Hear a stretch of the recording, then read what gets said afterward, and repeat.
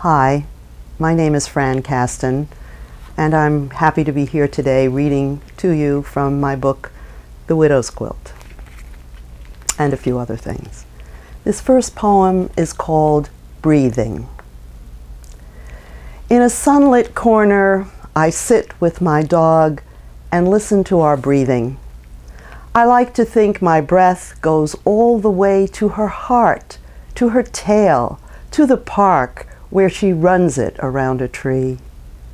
Every breath is borrowed, all the breaths ever taken, ever to be taken, are somewhere in this world. When life seems an inherent unsuccess, failing as it does in the end, at least as we know it, I sit in a sunlit corner, push out my belly in this great exchange, breathe deep with those who've gone and those to come.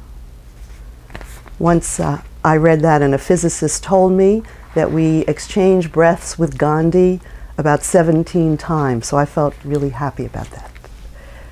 This next poem is called Operation Crazy Horse, and it's the name of an operation uh, that took place during the Vietnam War.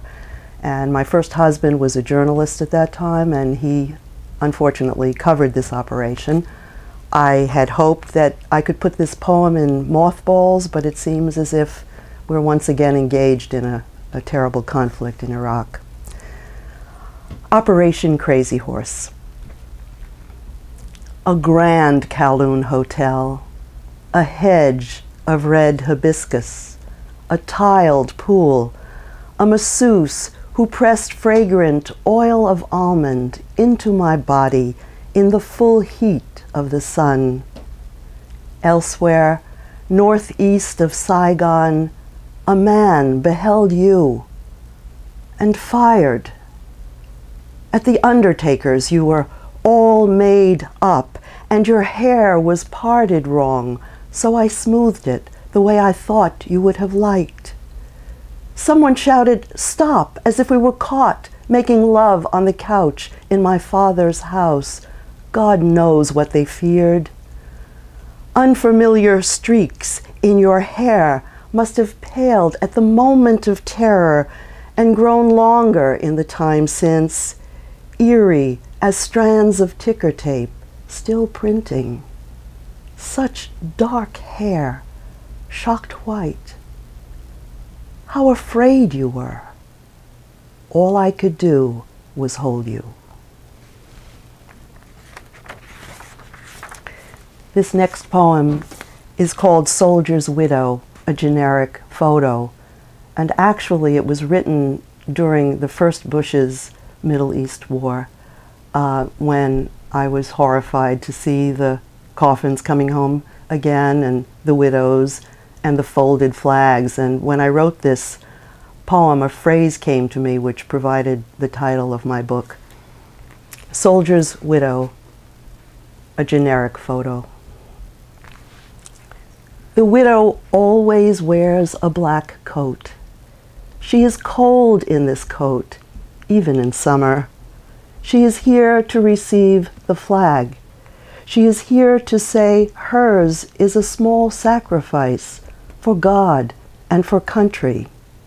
Valium is the drug of choice for such occasions. She will not cry out. She will not collapse.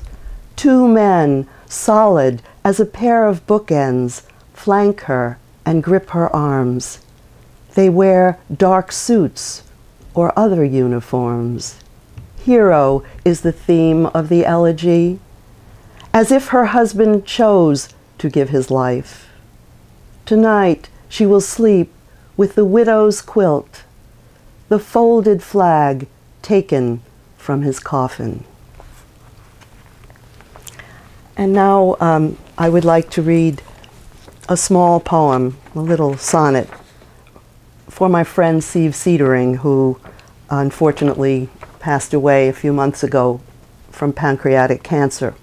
And uh, I was privileged to help her finish her last book, uh, which was just published by Pushcart Press, and it's called Vixen. And this is called manuscript for Siv.